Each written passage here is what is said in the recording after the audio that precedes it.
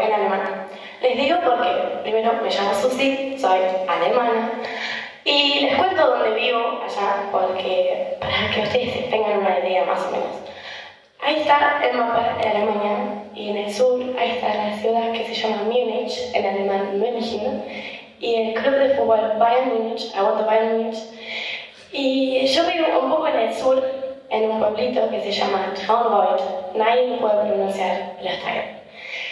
Y yo acá en el mundo tengo dos casas y dos familias y les cuento por qué.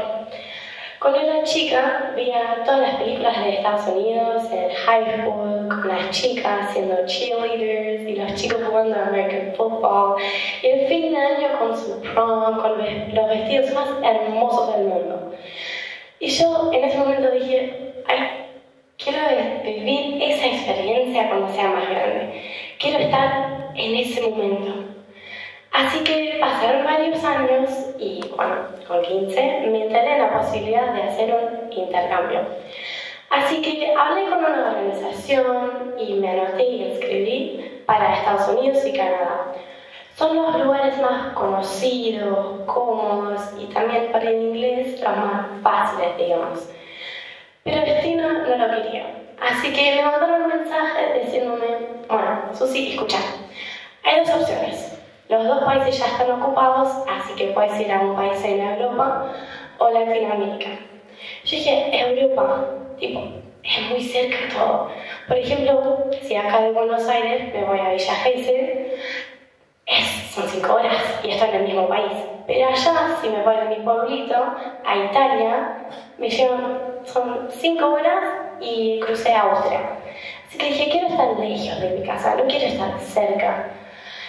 Cuestión, elegí a varios países y un día llegué a mi casa mi mamá me dijo, vení, vení, vení, vení, te tengo que decir algo. Y en letra mayúscula, dicen, tipo de papel, Susi, vos te vas a Argentina. Argentina.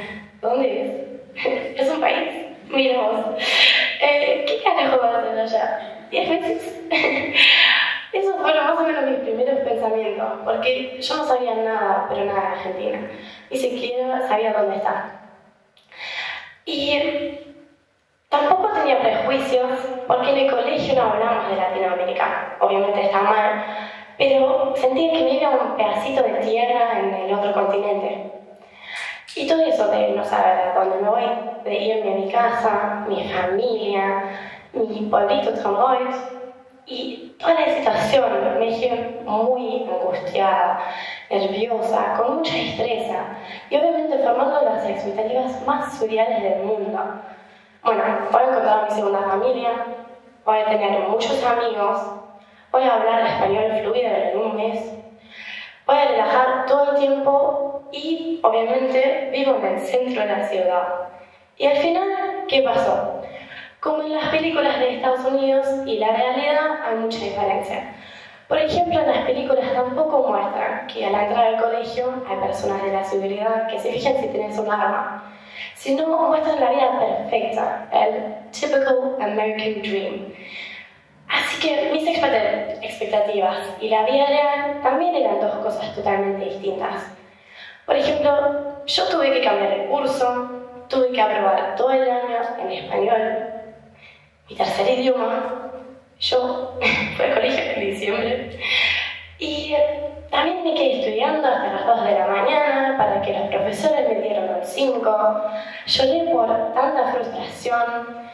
Se murió una persona de mi familia allá y nunca me pude despedir. Y al final vivo en San Martín y no al lado del obelisco. Pero con eso no me quiero quejar, porque realmente viví 10 meses hermosos con las personas más cariñosas del mundo. Si no les quiero decir que sé que es incómodo, es difícil y cuesta un montón, pero nos tenemos que abrir, tenemos que salir de zona de confort para abrirnos al mundo, para ver todas las posibilidades que nos dé el mundo, porque somos jóvenes, tenemos el mundo abierto, todas las puertas están abiertas. Así que no solo hay que pensar en la oportunidad y la posibilidad, sino hay que animarse a hacerlo. Ay.